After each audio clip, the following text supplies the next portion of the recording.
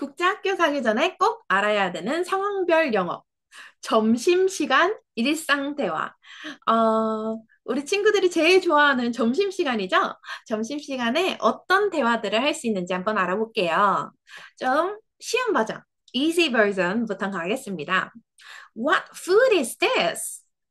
What food is this? 어, 이거 무슨 음식이야? 이게 뭐야? 이렇게 물어보는 거예요. 이제 국제학교 가면은 다른 나라의 음식이 나올 수 있어요. 그럼 이 음식이 어떤 이름을 가지고 있는지 물어볼 수 있겠죠? Can I sit here? Can I sit here? 나 여기 앉아도 돼?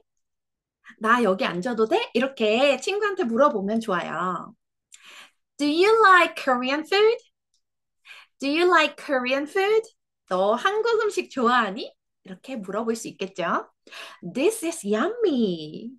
This is yummy. 이거 정말 맛있다. 이렇게 표현하면은 좋을 것 같아요.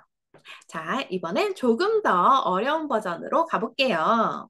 What's today's special in the cafeteria? What's today's special in the cafeteria? 오늘 카페테리아에서 어떤 특별한 요리가 나올까? 이렇게 물어보는 거예요. Would you mind if I joined your table? Would you mind if I join your table?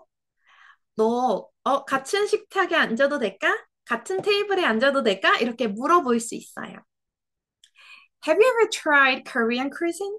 My favorite is 김치찌개. Have you ever tried Korean cuisine? My favorite is 김치찌개.